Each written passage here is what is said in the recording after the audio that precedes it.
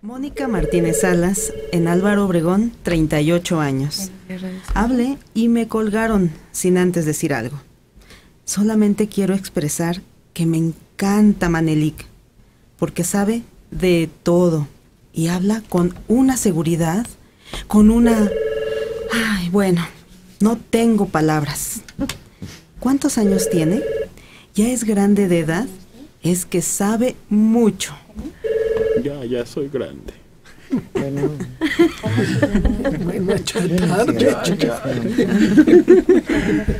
Comparado con los demás, no, son pollito. Uber. Pollito. María Elena Vázquez Nava de Naucalpan tiene 63 años. Ustedes lo segundo que nos preguntan es la edad y sin empacho se las decimos. Pero cuando se trata de que alguno de los integrantes de su programa, como hace rato Manelik, digan su edad, no quieren mencionarla. En una ocasión habló una niña al aire y dijo que tenía 10 años y Héctor respondió que él tenía un cero más. Yo me dije, qué bien se oye para tener esa edad. Y le llamé, me contestó Adela. Y cuando le pregunté, ¿es cierto que Héctor tiene 100 años? Me contestó, eso es algo que a usted no debe intrigarle. Sigue escuchando su radio. Y me colgó. Ay, no. Nunca pasaron mi llamada. Ah, pero a nosotros luego luego nos preguntan la edad. ¿Qué le tienen fobia a la edad? Y ya sé que me van a decir amargada, pero para nada. Y por último, ¿qué saben de José Becerra? José Becerra fue un boxeador jalisciense que se regresó a Guadalajara. Hasta eso no estaba tocado. No, y fue el primer campeón completo de México reconocido por todos. Campeón gallo. Sí. Oye, No, pero- pero ustedes me escuchan cuando contesto el teléfono la mayor parte ¿O de las pluma o gallo?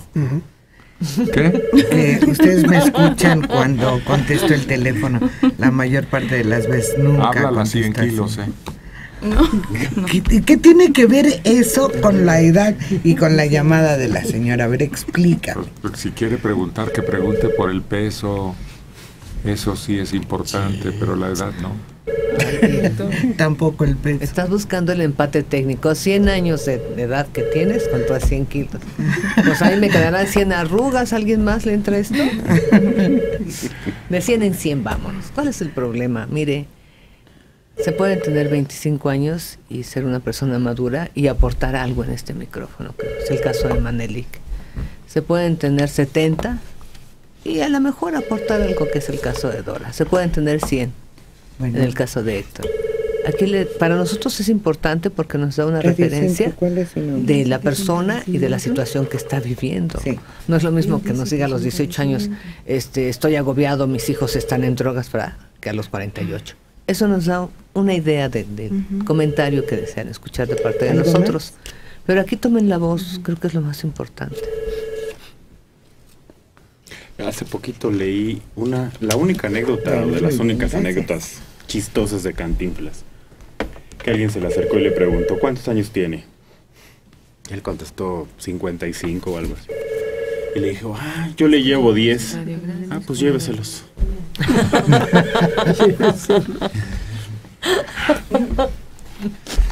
Estuvo en México, está de visita, un hombre que ustedes conocen porque hubo una película que se hizo sobre su actuación. No sé si acuerdan de Patch Adams. Bueno, pues el médico Hunter Adams, que es el que inspiró la idea, está en México. Para compartir la filosofía de vida de la risa como pilar y mejor método para enfrentar los problemas de salud. ¿Qué edad tiene? Sumamente delgado, Dígame. Patch Adams, como es mejor conocido, habló en una conferencia de prensa sobre los beneficios de la risa para tener una vida saludable. Ha habido estudios que demuestran que reír eh, reanima totalmente la circulación, la generación de ciertas endorfinas y hormonas y hace, eh, retrasa el envejecimiento, una serie de maravillas que tiene el reír, aunque sea fingida la risa. No, no. pues, fingida yo me la puedo pasar. Y no funciona. No, no, porque habla incluso de que no solo mejora físicamente a la persona, sino el espíritu, la conciencia. El estado anímico. Sí, claro. Además de ser doctor, es un activista social y es el inventor de risoterapia, risoterapia. que han copiado en México, pero pues no, no, no, no es lo mismo ponerse una nariz de payaso o zapatos o peluca para recorrer hospitales. Se tiene que tener carisma, gracia, cierto encanto. Desinhibirte totalmente y saber que el personaje que estás interpretando no eres tú, sino es un vehículo para provocar la risa. Un hombre encantador Sí, estuvo sí, sí, con sí. un grupo de, pues no sé si eran internos o estaban en servicio social, pero estos médicos empezaron a, a- a imitarlo, él les estaba explicando en qué consistía y después estuvo en una en un área de niños invidentes y hizo que la chiquita le recorriera el rostro, muy seria ella, muy osca, y de repente cuando siente la nariz, ves cómo cambia la expresión de la niña invidente al sentir la nariz y algo le está diciendo él y luego sigue recorriendo con su manita el resto de su cara, llega al sombrero y ves cómo suelta la carcajada Claro que esta sí. niña, simplemente al tacto, lo que ella iba gusto. imaginando. Un hombre que se ha dedicado a hacer feliz a las personas y a recuperar la salud y que empezó con niños en fase terminal trabajando con ellos. A mí no me gustó la película Robin Williams, ¿verdad? Sí, yo no la vi. Ajá. pero no tiene la esencia que es importante, la improvisación, la novedad, pero la frescura. Eso. Sí. Además, eh, se enfrentó con muchos problemas, lo corrieron de algunos hospitales, les decían que, que no, que los problemas eran serios y que había que abordarlos con seriedad. Pero su escuela ha cundido y muchos médicos ya intentan, eh, pues por lo menos hacer sonreír al paciente, aun en los casos más terribles. Pues nosotros por eso recomendábamos nuestros programas que de vez en cuando tienen alguna anécdota, un dato, un, un rincón dentro del comentario en general que haga que sonría uno, escuchando simplemente. Es que tiene una frase muy interesante. Él dice que si atacas la enfermedad vas a perder, pero si atacas al enfermo hay posibilidades de ganar.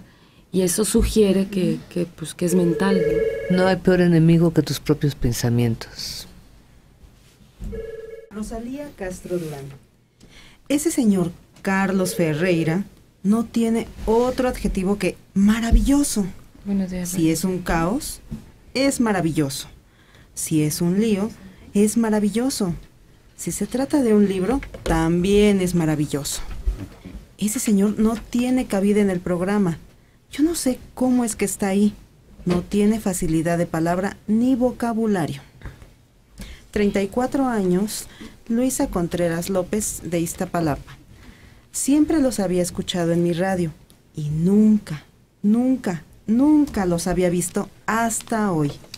Es la primera vez que los conozco por internet. Me tienen impresionada. Los felicito. Y sobre todo, quien me asombró fue Mario. Siempre lo he admirado porque es muy inteligente. Hasta lo pongo de ejemplo con mis hijas. Les digo, estudien para que sean como Mario. Estoy fascinada viéndolos. Que se ponga de pie.